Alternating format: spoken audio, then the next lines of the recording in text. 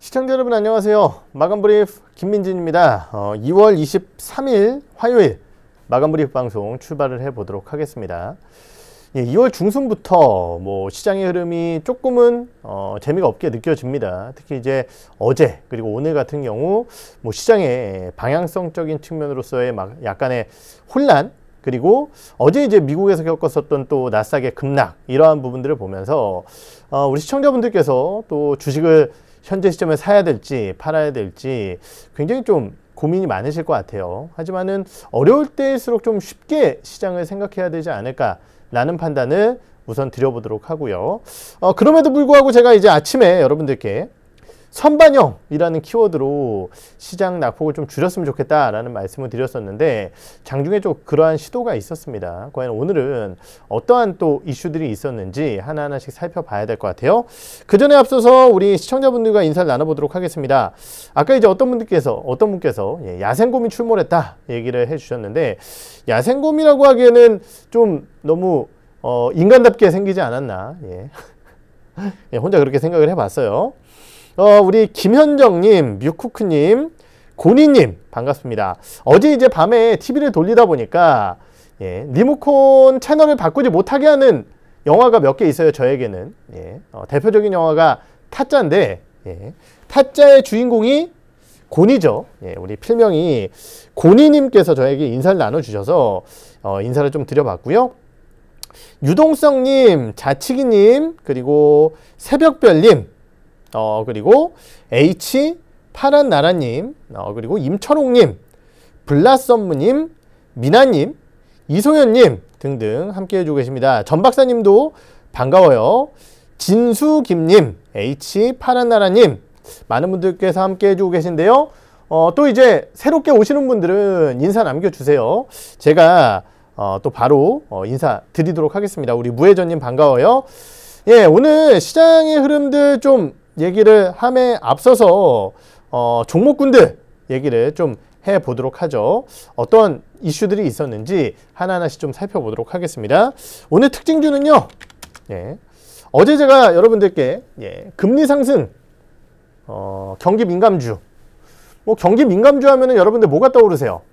예, 정화조 뭐 이런 거 떠오르지 않으세요? 예, 정유, 화학, 조선 이게 경기 민감주의 대표적인 종목군들이잖아요. 그 중에서도 대표적인 종목이라고 할 수 있는 롯데케미칼이 오늘 또 장중 급등세를 보이기도 했습니다.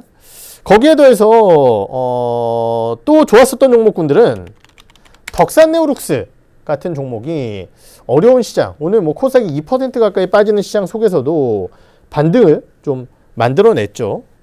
거기에 더해서 예, 어, 오늘은 한국, 아, 현대중공업지주 이슈가 있었죠. pre IPO를 통해서 현대 글로벌 서비스 매각을 진행을 했습니다. 현대 글로벌 서비스는 뭐 하는 회사냐? 배 수리해주고 AS 해주는 회사예요.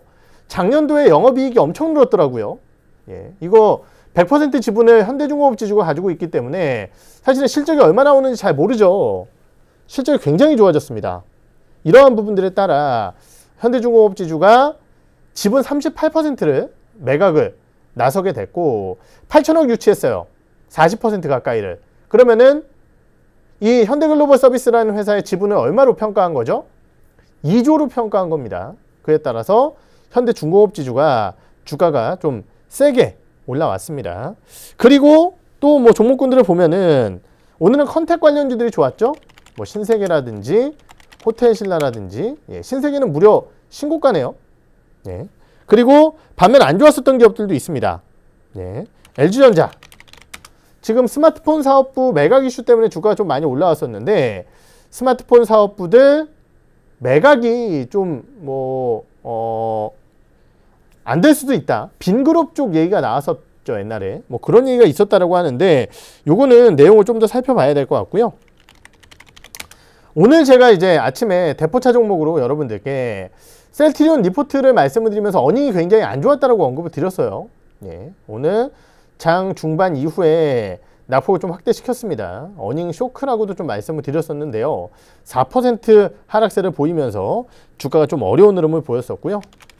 코로나 관련주들은 오늘도 좀 어려워요. 시젠이라든지 뭐 수젠텍이라든지 DNA 링크라든지 이거 다 진단키트 관련주들이죠. EDGC 예, 어, 모두 다 좀 어려운 흐름을 보였다라는 점도 확인을 해볼 수 있겠고 다날도 오늘 주가 좀 많이 빠졌죠.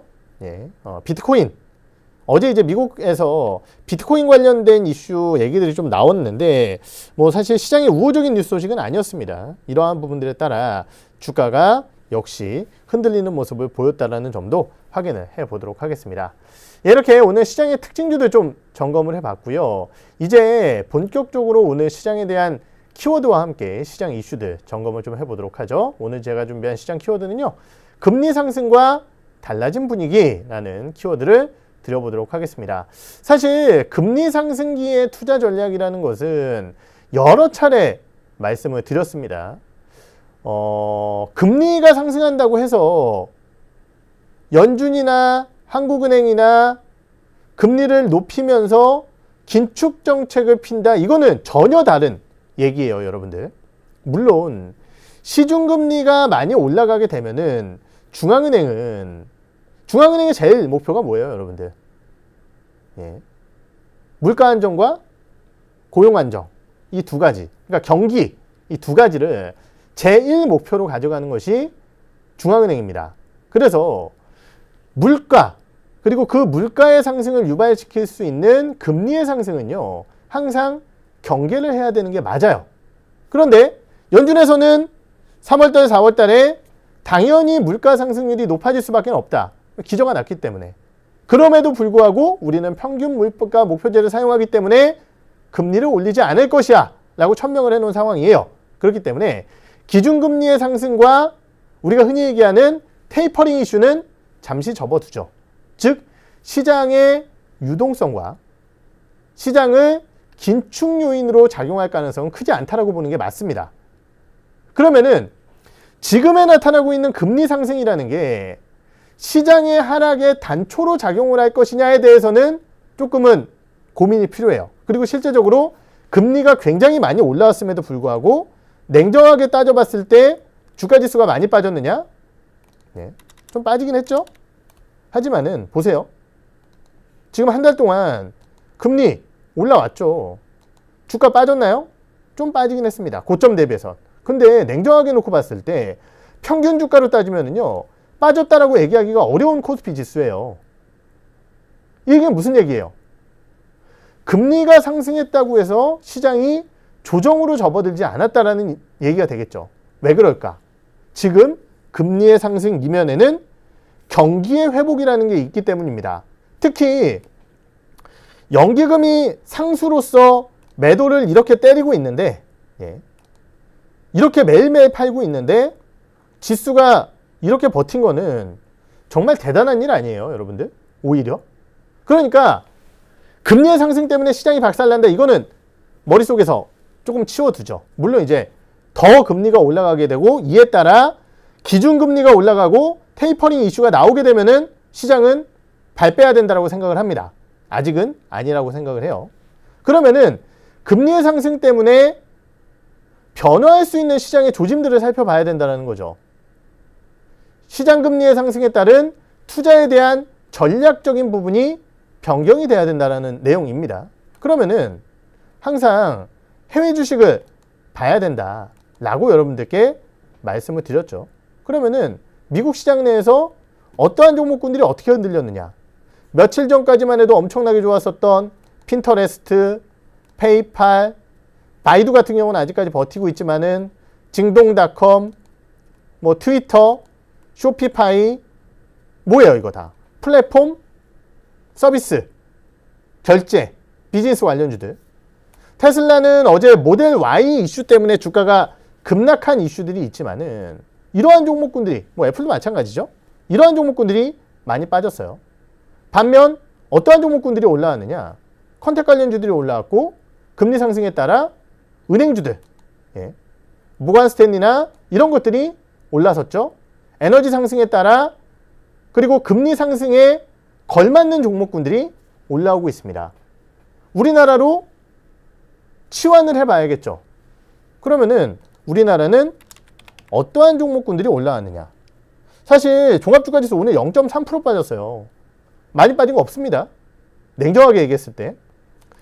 그 상승장 속에서 어떠한 종목군들이 움직였냐 오늘 뭐 네이버 움직인 거는 대단하다고 생각을 합니다 저는 하지만은 SK하이닉스 이건 정말 어제 마이크론이 급락을 했는데 SK하이닉스는 디램 가격 상승에 따라 오늘도 반등이 나왔어요 하지만은 다른 종목군들을 보죠 바이오로직스, SDI, 셀트리온, LG전자 뭐 이런 종목군들 뭐죠? 모두 다 시장을 주도했었던 어마어마하게 시가총액 상승을 만들어냈었던 종목군들이 빠진 가운데 올라간 종목군들은 뭐가 있느냐를 살펴보니까요. 최근 주가가 좀 흔들렸었던 차 그리고 소재, 철강 그리고 또 어떤 것들 있죠? 예. 제가 보고자 하는 종목이 잘 안 보여가지고 지금 예.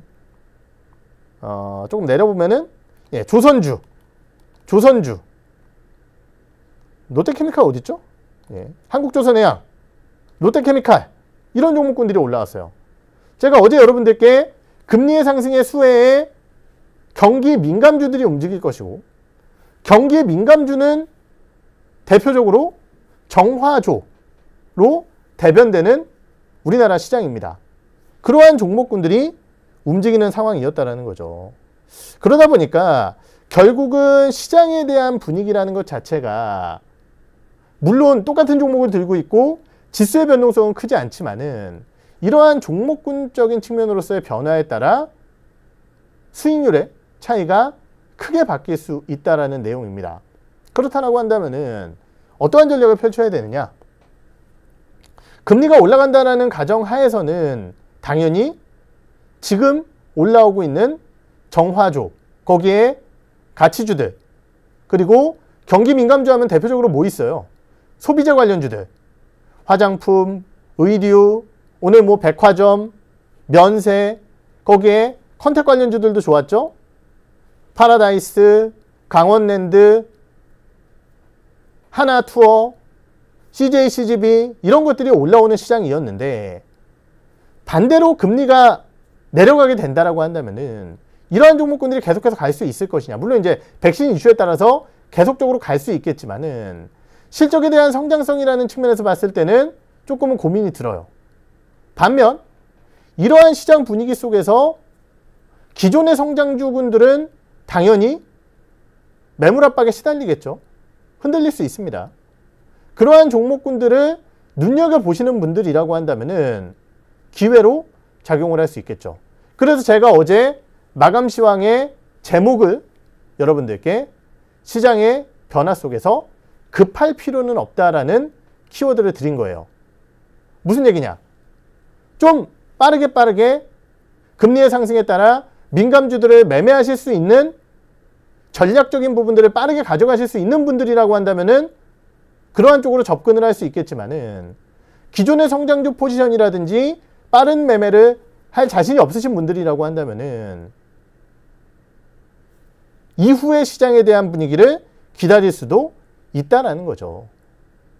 그렇기 때문에 이러한 부분들에 따라 너무 조급하게 시장을 볼 필요는 없다. 그리고 지금 정화조 혹은 기타 민감주 섹터들이 잘 간다고 해서 이 종목군들이 계속해서 올라올 것이냐?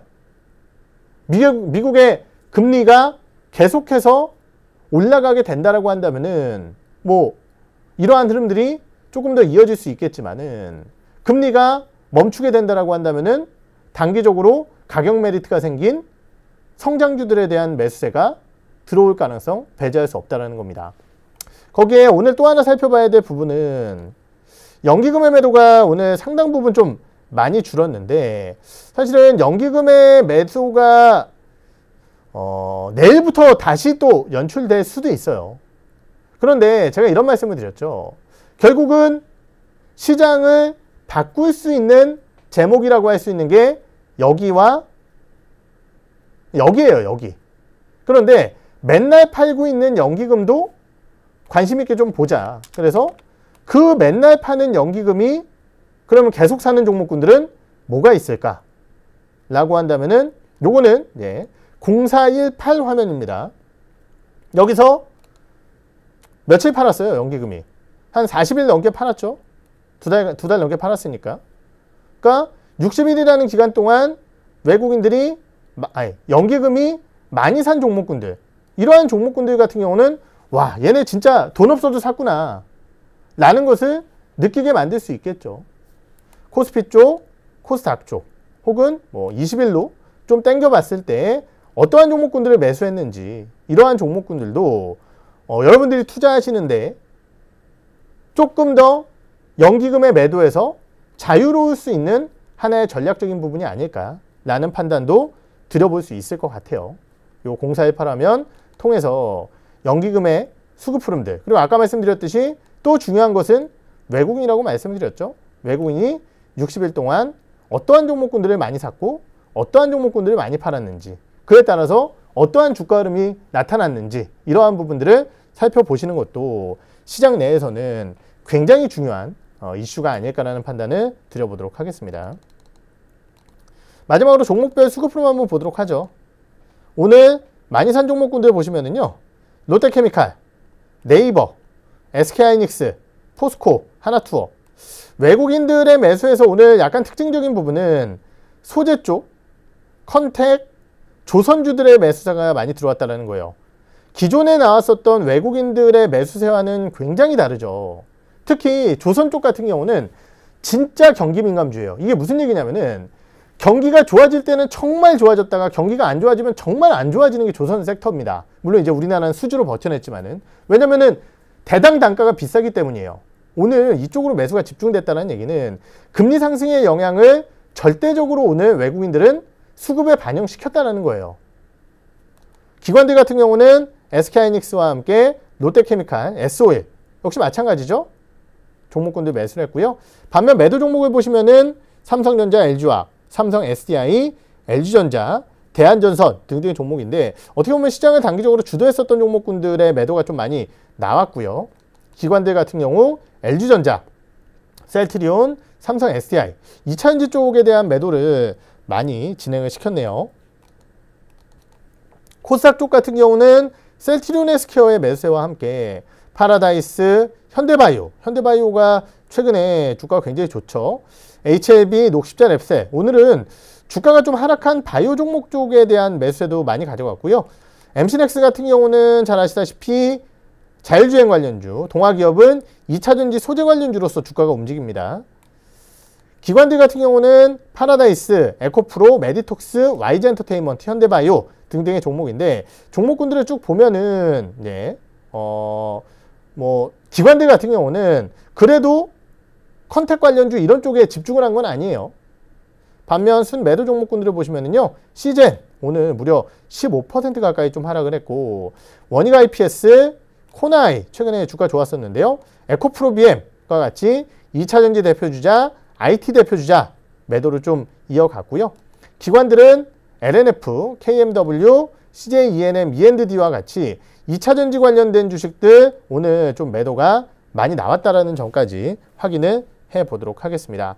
어, 5G 쪽 같은 경우는 우리 시청자분들께서 얘기를 많이 나눠주고 계시만은 어, 작년도 대비해서 올해 전반적으로 투자가 좀 많이 줄었고 그 공백을 해외 쪽 투자로 메꿀 수 있는 기업들 같은 경우는 그나마 버틸 수 있을 거라 생각을 했는데 어, 해외 쪽에 수출이 있는 기업들 같은 경우도 사실 4분기에 보여주지 못했어요. 어, 코로나19의 영향력 때문에 아무래도 장비들이 좀 움직이는 것 이런 것들의 부담감도 생긴 것 같습니다. KMW의 아쉬웠던 실적 오늘 대포차 시간을 통해서 여러분들께 말씀을 드리기도 했어요. 참고를 오전 방송을 좀 참고를 해 보셨으면 좋겠습니다. 네, 어, 이렇게 오늘 시장 흐름들 좀 점검을 해봤습니다. 어려운 시장 속에서도 어, 금리 상승에 따른 수혜주들에 대한 움직임들이 나타났다는 점, 성장주들을 기다리시는 분들에게는 좋은 타이밍을 주고 있다는 점에서 봤을 때 급해지지 말고 금리와 함께 시장에 대한 투자 전략적인 부분을 세워가자라는 말씀을 드려보도록 하겠습니다. 이렇게 이 시간 마무리 지어보도록 하죠. 잘 들어주셨으면요. 좋아요. 예, 저희 이제 메인 영상 페이지에 요 엄지손가락 있죠? 예, 좋아요 버튼 꾹 눌러주셨으면 좋겠고요.